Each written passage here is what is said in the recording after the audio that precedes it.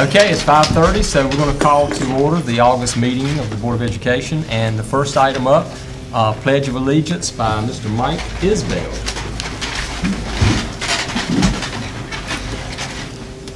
I pledge of allegiance to the flag of the United States of America and to the republic for which it stands, one nation, under God, indivisible, with liberty and justice for all. Thank you, Mike. Uh, Mission statement will be read by Mr. Butch Oliver. The mission of the Beaufort County Schools team is to enhance the quality of life in our community by nurturing all students and educating them to their fullest potential. Thank you. Any public comments, Lisa? Okay, no one signed up, so we'll go straight uh, to approval of the agenda, which is in front of everyone. Does anything need to be changed, added, deleted? Move Okay. approval then. Okay. Second. Have a motion and a second. All in favor, say aye. Any opposed? Okay, agenda's approved. And that carries us to the approval of the minutes from the, how many meetings do we have here? Several. Four. Two meetings, but closed sessions and regular. Hopefully you've had time to look over those already, and, Move approval. okay. Okay, we have a motion, and a second of approval of the minutes. Any uh, questions or anything? Okay. All in favor, say aye. Aye. Any opposed? Okay, minutes are approved. And we will now go into the no action portion of the meeting and a driver's education update Don. Yeah, I wanted to, I was hoping I could come to this meeting in late August and give you an idea of exactly where we're going to be, but we don't know yet without, again, the state budget. So we're moving into the month of September with that uncertainty. We had decided, you all had decided as a board, that we would continue on with driver's ed the way we've always done it in terms of charging and stuff through the month of August. What I'd like to ask, and, and we, this is a no-action item, Joe is here tonight and can answer any questions, but word is that we may have some action at the state level by the 1st of September. And uh, with that in mind, I don't know if that means that the state's going to pay for it, the state's not going to pay for it, the state's going to partially pay for it. We don't know that yet.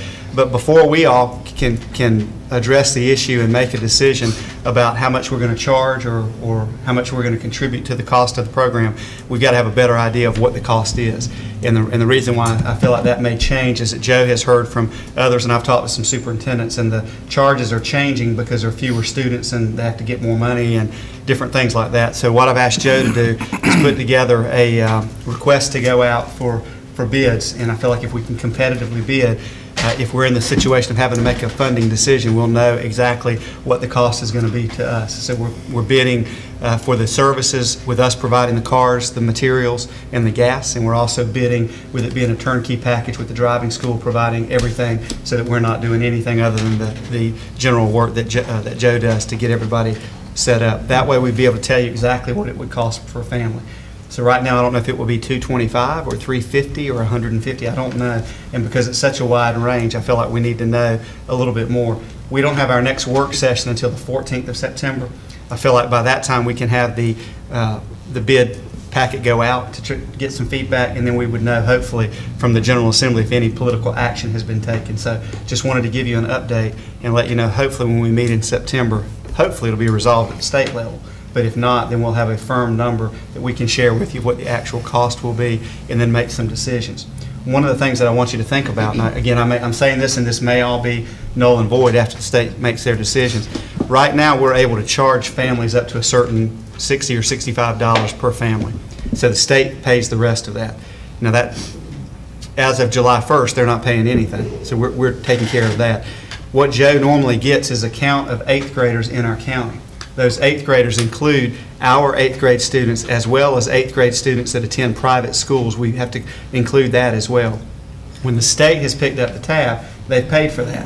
If we get to a point where we contribute any money for driver's education, I think we need to be aware that some of the students that are taking driver's ed are not Beaufort County students, and it would either be incumbent upon their families to pay 100% of the cost or the schools to contribute.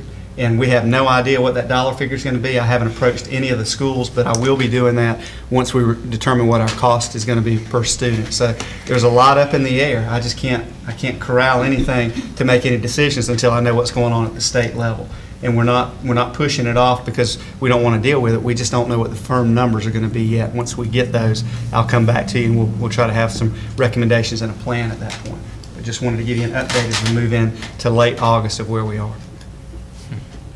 So, And we're looking at about 600 kids per, students per year is what we generally are dealing with. I have a question, Joe, without revealing my age and yours. Um, There was, there was a time, He taught me if that makes it even worse. there was, Excellent, a- though. there was a time that, um, and I had a lot of people ask me this, and I don't have the answer, so I'd like to be able to have the right answer. There was a time when we call it the book part of driver's ed was actually taught within the school system. Is that no longer part of any curriculum? We still, still teach the book part. we still teach our teachers, or a dri- are we paying, are we subbing that out to the driving school? The, you have to be certified uh, in driver's education to be able to teach it, so the driving school teacher teaches the book part. We have classes at each high school and several at the ed tech throughout the year for students that have af- extracurricular activity after school that they can come take. It's open to anyone. And uh, then they take the driving at their school. Okay, so our actual staffs are no longer part of the Now, we program? do not have a driver's ed, certified driver's ed teacher um, in our staff anymore. The course is taught after school? Is that right? Um, After school, Saturday. Yeah, but the law says it can't be done during the instructional day. We're no, we're no longer allowed to do it during the instructional day. But, but we could have a certified teacher, we just don't, or? I, I, I don't know, that's what I'm asking. I mean, I took it Well, I'm after school as well. The board could uh, provide drivers ed any way they want to. You could hire drivers ed. We have two that work in the county through the driving school, and you could hire your own and have them teach. I don't know with the benefits and stuff, what the difference in price would be. Uh, We're paying about two twenty-five per student now to the driving school, and then we provide the car and gas, insurance, and uh, things like that. So we're already funding a great deal of it. We're just getting, up until July 1st, we were getting reimbursed for all but a portion of it. Is that From- correct? From the parent charge that we have, and then from the state giving us the mon- that money, paying for the program, but we don't have that state money anymore. I, I didn't know if that was even an option, or if it e- would even be an option we'd want to consider, but I've been asked, and mainly it's been people from my generation that remember it being taught by somebody on campus, was also, it might have been your PE teacher, was also, it could have been the civics teacher, like Mr. Contact Koch. state senator, um, the House is willing to fund drivers if they want to keep it. The Senate's gone as far as they're talking about not even requiring it anymore. So just doing away with it. So They're pretty far apart. Right. they want to move it to, to the community college in a year or so or something? That's one of their plans, but they're also saying, let's just do away with the requirement Completely. and require 40 more hours of driving experience on permanent. Okay. Give them a license and turn them loose. Carolyn, even if it was done by our certified folks, it could not be done during the instructional day. Right, it was, well, even I took it after school, I- it wasn't, back then, it wasn't taught during the school day.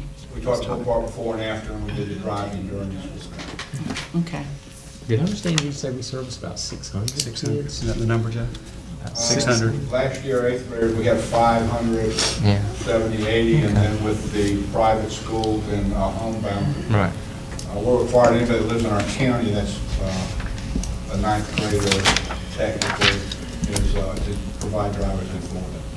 So we're not providing anything at this point in time, though, right? We, we No, are. We are. We are? We- are we finishing the, the kids that started, but not starting another session? Um, We're basically continuing right now, we're, um, we taught the book part this summer, and we had driving complete uh, all summer long, July and August. About a third of the school systems are ended driver's ed and didn't provide anything. Two-thirds of them are continuing on. Uh, We got 600, if you look at Mecklenburg, if they stop for a month and two months, they may never catch up again. I don't know how they would particularly teach them after school, not during the school day. It would be, they'd have to get a lot of personnel in there to uh, provide it.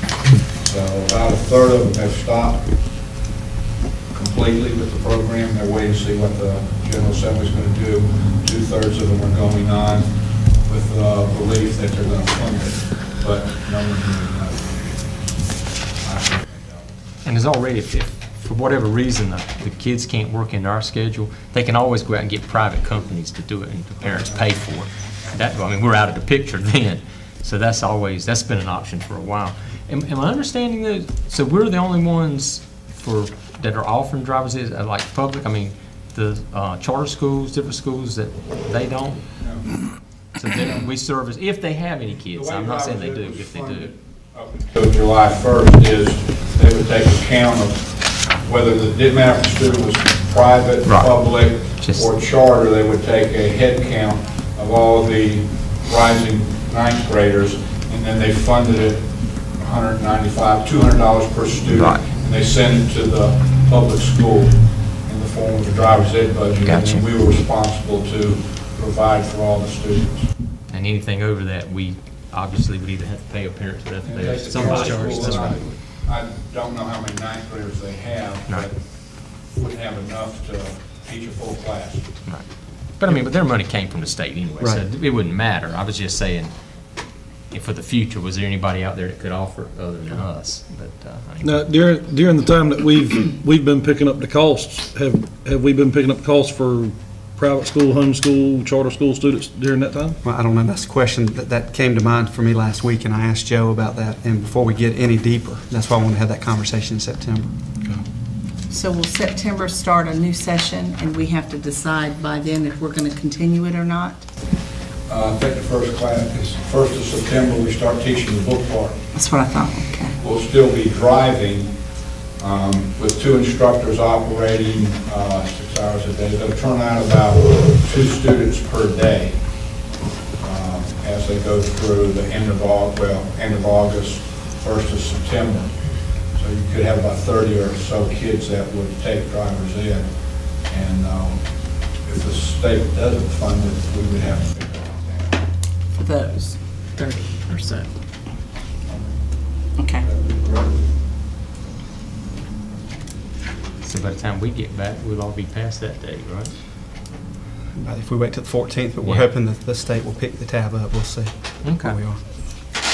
We may have to delay, we have to say that we're going to hold off until the the 15th or something like that of any Yeah. coursework. Because we want to be back to after then. Any other questions, or? I think there's so much up in there. It's kind of hard to ask the questions, you know, because, I mean, I, I know you don't have all the answers, so. Well, We're just waiting. Do we need to delay what's going on, what's getting ready to start now? That's what I was Until thinking. after the 15th? We could. Uh, We have it as a no action item, but if- if you all wish to go ahead and make that decision, we're not going to meet again until after, well, until the 14th. That's And what I was he needs that's a what I was decision asking. I before the I was hearing 14th, September don't 1st. Mr. Chairman, I move that we suspend the rules and make this an action item, Okay. and so we can act on it. Second. Here a second on that? Okay. Anybody question that? Okay, all in favor, say aye. Aye. Any opposed? Okay, it's just been turned into an action item. That doesn't tell us what action we want to take. But- So you're saying September the first, if we don't change anything, September the first, we're gonna start up with another, and probably won't have the, The- the The book part. answers yet. The Book book part, part. right, but. book part starts, we will con, we will Switch be to driving. to drive Right. while that book, book portion goes on. People that have taken the book part in the summer uh, would drive. Uh, We'll have one session at each high school, which lasts for, uh, if it's three hours a day, that'd be 12 hours a week. It would be about two and a half weeks to do the book part. But when the book set, three-hour session is up, we would then drive another set of students for three hours. Okay. And uh, so we would still have funds going out to Right. provide drivers ed starting tomorrow. Okay, so if the board decides to suspend those operations, what, I mean, what's it gonna cause, what trouble, I mean, I know, understand suspending what that's gonna do, but is there any ripple to- effects I'm I not think we sure have to of? finish driving. We should finish driving the kids that have had the book part, right? Because aren't they then left in the, Suspended, I would finish the ones that we're driving now. right, Yeah, that's that's what I what she mean. said. And not start any new ones. That's, That's right. Driving session. Right, let them have to finish it. for drop. And not start Until we another know book what we're session. dealing Right. with. We have a Yeah. two-week window that we did for sure. Yeah. Yeah, and hopefully, it won't be but a two or three week window, we'll, we'll have some more information on. But at least we won't be making commitments to a whole group without knowing what we have, right? I don't want us out but we here need to sending finish out false the signals. There you with go, the kids that exactly. are currently driving. Okay. They're in the car, I would recommend finishing. Okay. Sure, absolutely. All right. So So does everybody understand what he's suggesting, or mm-hmm. not, I won't say suggesting, but recommending doing? Okay, We how do need you, to how make you a feel motion about I to, to make it official. Um, I make a motion, we suspend the driver's ed program as far as starting any new classes, but we continue to allow any students that are currently driving to finish their driving part un- until we have a better answer of what we can do. Okay, everybody understand that? Barbara, that- Did I hear a second, Barbara? Okay, we have a motion and a second. Uh, Any questions real quick? Does that include students who have not started driving but are scheduled to drive, that have finished the the coursework? No, I- I would- If they're in the middle, I think they Yeah. could go on and drive, you know, if they're already halfway through. My understanding is if they're in the car driving, we finish. That's right, that's right. Or if But they if they finish the haven't- book part and they're scheduled to drive, let them go on and drive. Right, but if So they let's don't haven't, start new. but don't start any new That, that could get commitments. difficult, couldn't it? How many students do you have needed? well, let let me, ask- let me ask this, at what point do we pay for them doing it? Do we pay at the beginning? July 1. So, uh, so, been paying since July 1. so, well, I guess what I'm, what I'm asking is, have, have we already paid for No. Someone that hasn't started driving yet. someone that hasn't started driving yet? No, but we driving- probably paid for- The driving doesn't take school it. send in a monthly bill at the end of the month. I will, uh, I have had them put the phone numbers on it. I spot call several students to make sure they got their six hours in uh, with the different instructors and ask them what they did. Then I sign it and turn it in to Ms. Harold. She pays the driving school, so we'll have a bill coming in shortly for um, August.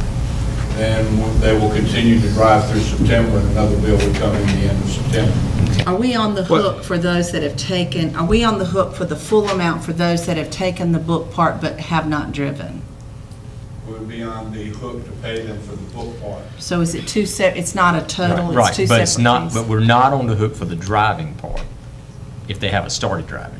If they haven't started, no, if they haven't driven or haven't started driving, I we. Right. H- How many students are we talking about right now?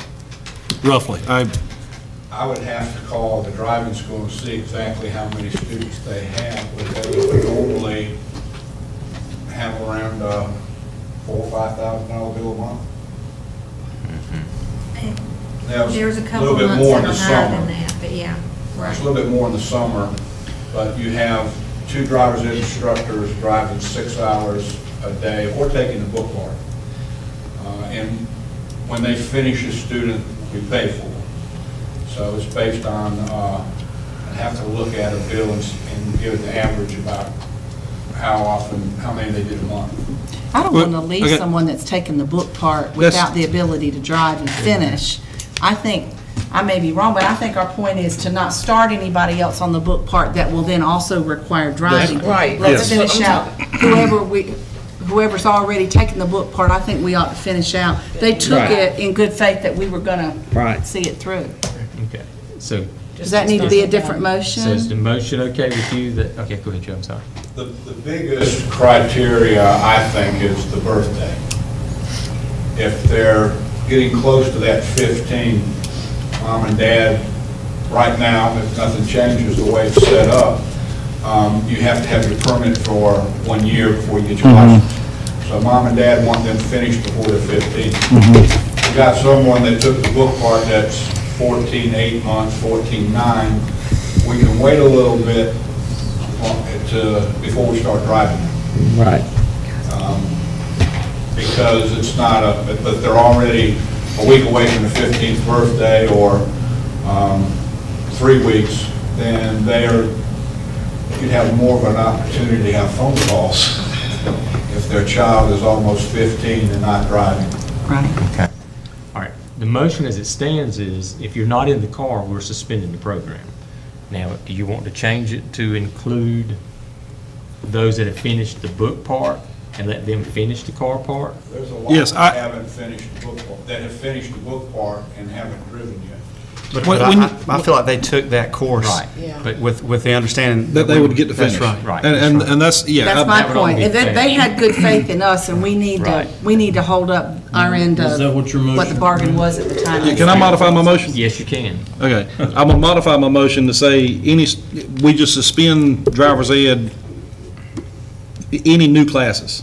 Right, so, And anybody that has taken the class currently will be allowed to finish driving and everything. then we everything, finish the whole class. can, can finish and and get their, yes. But don't start anybody any new What ones. that number and estimated cost is and give it Dr. Phipps. What you're saying is if you've begun the pro- process, you get to finish. Yes. I mean, there, there's nobody else, there's nobody else in the middle of a, a written class now, or a book class. Everybody now, the book classes are done, they've just got to About drive. a hundred in July. Okay. You finish them up in July. I, I- I agree with Carolyn. I- I But this will put a stop to any new classes is what all we're We just need a clean And cut. hopefully for a two or three week period. We need a Barbara, are you clean still okay cut so we know when to start back up, you know. Okay, so everybody understands now what Yeah, I'm saying? I think. Okay. But We have does a- understand? Yeah, I think so. My understanding is we're gonna drive anyone that has taken the book part, Right, and we that's will right. not start any new That's textbook right. parts, therefore we'll have no drivers. after That's right. That's correct. Finish up what we have on the That's exactly what Butch said. That's right. Okay, so we have a motion and a second to that effect. I'll, I'll be brave and say any more questions. If not, all in favor, say aye. Aye. Any opposed? Okay. Thank you, Joe. Thank you. And like I said, hopefully it'll be a very short and we'll all be over this and doing something different soon. Uh, strategic plan update. Don, back to you I want to share this with the board and with, with folks that are watching and folks in our community, just to be aware. This is, is I hope, going to be a, a very important activity that we undertake. And I hope that when we're finished, that we haven't created a strategic plan that we put in a binder and we put on the shelf and we say, we've done that, now let's move on to something else. I hope that it'll be a strategic plan that is living and something that we base what we do on. And the reason why I feel so strongly about that is we're, we're reaching out to the entire community. Anyone who has a voice, we want them to share with us what their thoughts are. We've sent out invitations to 30 or 40 individuals to serve on a planning committee that will get started. And we're working on four, or three dates that we want to, to meet with folks in the north side area, the Washington area, and south side. And those dates haven't been confirmed yet, but we're looking at September 14th, 15th, and 16th. And these will be open meetings to the community and would invite anybody who would like to come to come. And this is not something that I'm going to direct. I feel like I need to step back, be a part of it, but let someone objectively outside the school system come in to do the work. And this whole notion will be what it is that the community wants their school system to look like. What are we doing well? What do we need to improve on? What are our strategic uh, priorities? What are our non-negotiables? Do we need to change our vision and our mission? And again, with the purpose behind it of, of what we are going to be doing moving forward. So I just wanted to let you know that that uh, started, our goal was to try to get things kicked off in August, which we've done. And you all will be a part of that. And I'm going to have um, Eddie West, as retired superintendent, I asked him today if he would come in and just give you some updates from time to time of what's been done. And our goal will be to have this wrapped up before we break for Christmas. So that would be a great thing to be able to present at the December meeting if we can do that. So, Just wanted to give you that strategic plan update so that you know that we have taken some uh, action and doing some work, and you'll be hearing a lot more about it. Okay, any questions about that, anybody? Now, tho- those meetings um, that you're, that that you're saying tentatively 14th, 15th, 16th, is that something that we're, would they be board meetings or? The, the 14th is a work session. We're going to talk about that a little bit later. We'd like to move the work session meeting to Northside. Okay. And then allow any board members who want to stay to do that. You're all, you're welcome to attend any of those, but they Okay. wouldn't be convened as, as a, a board meeting. It will be a, more of a community meeting led Right, by okay. that outside individual. Okay, anything else? Okay, I'll uh, entertain a motion for closed session. I move that we go into closed session pursuant to General Statute 143-318.11A1 to prevent disclosure of confidential personnel files under General Statute 115C-321 and General Statute 115C-402 and USC 1232G student records. Here a second? Second. Okay, we have a motion and a second to enter into closed session. All in favor, say aye. Aye. Any opposed? We're in closed session.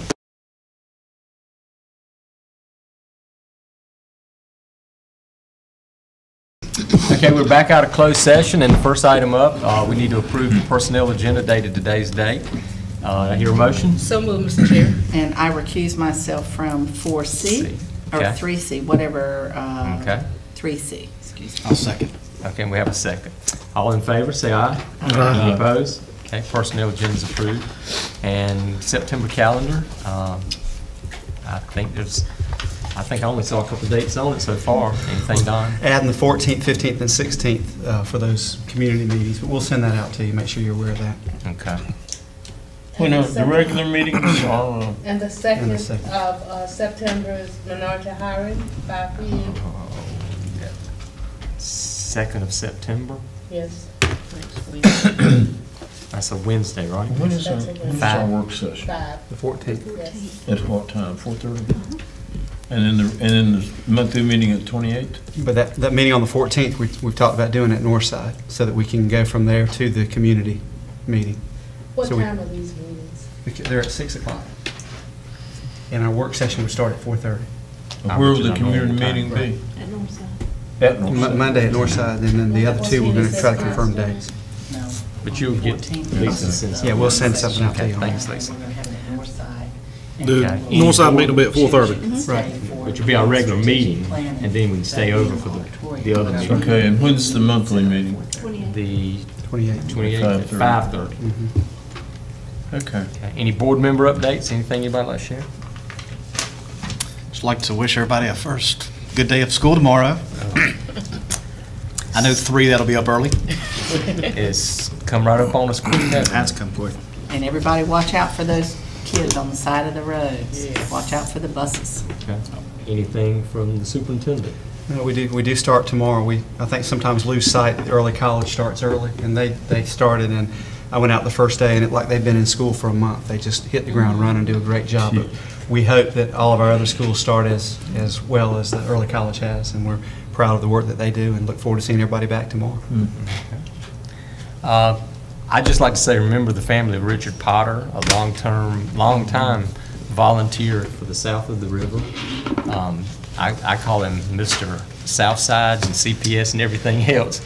Uh, He passed away this weekend unexpectedly, and schools over there are just devastated, just devastated. Uh, I was talking to uh, my daughter, who, he volunteered in her class three days a week for the last 18 years. And she already had his folder fixed up for him and all to pick up tomorrow, so uh, it's going to be a tough opening for the school. And he was a great person, for those of you that knew him, just Yes, he How old was he? uh, in his fifties, I'm not really sure, but he's just, Yeah. he's just an outstanding That's person. Just- You couldn't go to a game over there, could you, Butch? that He No. was not there. He ran concessions, that, he done everything, Mm. everything for the school, so. Just remember his family. How did the, the game, the first game go? I wasn't able to attend, but how did it go? Did- did you do? Uh, Washington, um, had, a- had a challenge with Havelock, as they always do, so that did not end as they wanted to, but it was a wonderful crowd, uh, a, a big crowd, and they have, uh, what they call Little Pack, and so all the little girls that had gone and, and cheered, they, at halftime, they cheer with the, the varsity and JV cheerleaders, so that was really sweet to, to see. But, but even though they did not win, um, I think they saw what they needed to work on, but more than anything, you saw some boys out there really giving hundred percent, so that's good. And I think the other two Northside high and schools won. both won. Yeah, Southside uh, had a great game, 50 to 0 over North Duplin, so they had a good start. Northside beat Crestwood. And Northside was over Preston. Yep. I don't know the score, but 30 to 12? they won. Yeah. That's what's important. Okay, any other comments, anybody? Okay, I make a motion to adjourn. Second. have a motion, and a second to adjourn. All in favor, say aye. Aye. Thank you very much. See you